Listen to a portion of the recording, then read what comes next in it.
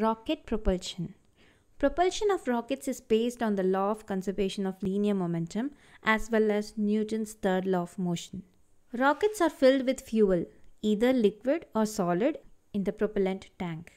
When the rocket is fired, this fuel is burnt and a hot gas is ejected with a high speed from the nozzle of the rocket, producing a huge momentum.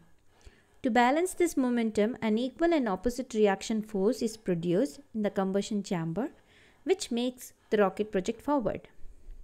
While in motion, the mass of the rocket gradually decreases until the fuel is completely burned out. Since there is no net external force acting on it, the linear momentum of the system is conserved.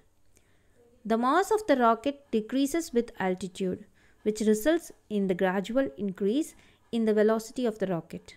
At one stage, it reaches a velocity which is sufficient to just escape from the gravitational pull of the earth. This velocity is called escape velocity